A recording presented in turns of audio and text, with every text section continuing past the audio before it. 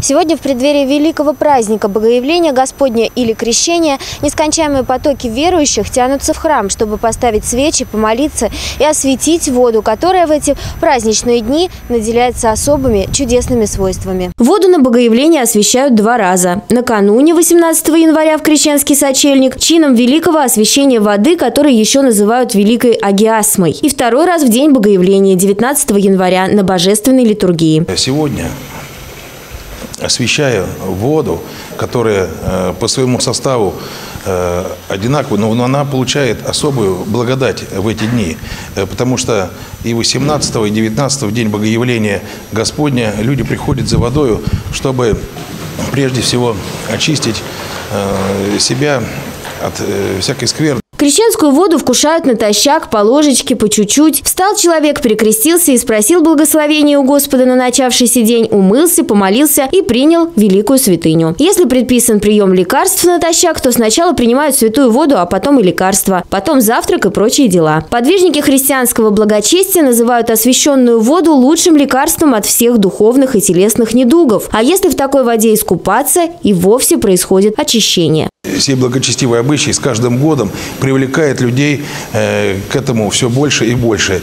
И также сегодня, вот э, всю, всю ночь будет совершаться освящение э, воды у нас на Ореховом озере. Сегодня в ночь верующие будут нырять в специальные купели. А вот последователи зимнего плавания начали праздновать крещение заранее и купаются уже в сочельник.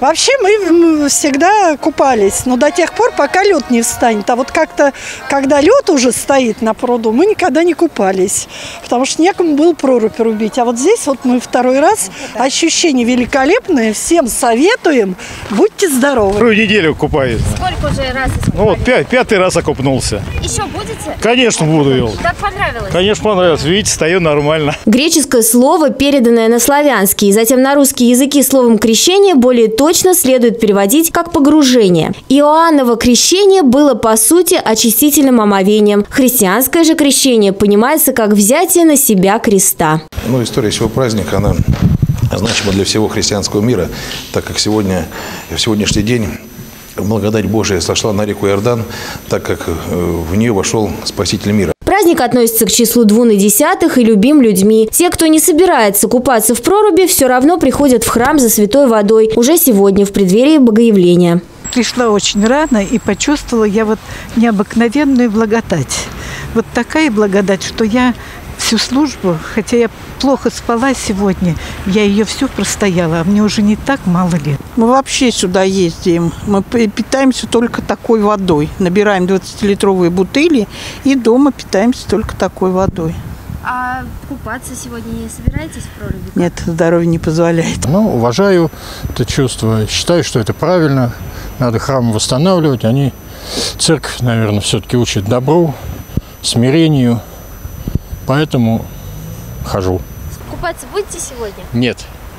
Здоровье не позволяет так бы с удовольствием. Иордания – это специальная купель, вырубленная в любом водоеме и освященная в день крещения Господня. На Руси испокон веков удалые молодцы окунались в эту купель и даже плавали в ледяной воде. Считалось, что таким образом можно смыть себя все грехи. Но церковь учит, что очиститься от грехов можно только через покаяние. А купание – это всего лишь традиция, к тому же не обязательная к исполнению.